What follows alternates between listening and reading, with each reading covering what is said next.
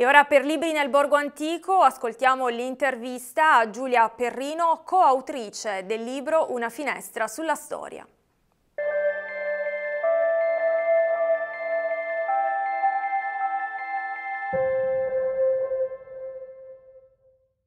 Un cavaliere a Castiglione tra Angioini e Aragonesi è il libro curato da Sandro Sublimi Saponetti e da Giulia Perrino alla quale porgo il benvenuto. Chi era quest'uomo d'arme noto con il nome di Cavaliere di Costiglione?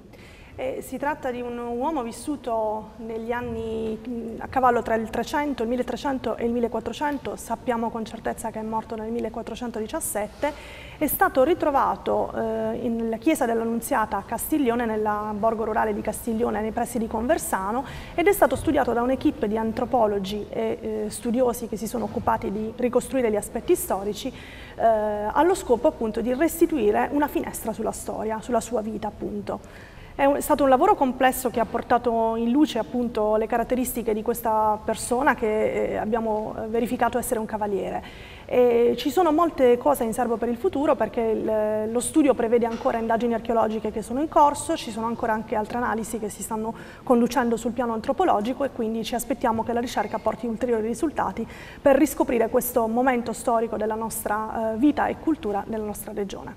Un cavaliere a Castiglione tra Angioini e Aragonesi per i quaderni della sezione sud-est barese studi in memoria di Claudio Andrea Labbate testo curato da Sandro Sublimi Saponetti e da Giulia Perrino, che saluto e ringrazio. Grazie. E ringraziamo anche Libri nel Borgo Antico, la rassegna letteraria che si tiene a Biceglie ogni anno nell'ultimo weekend di agosto. Appuntamento al prossimo libro.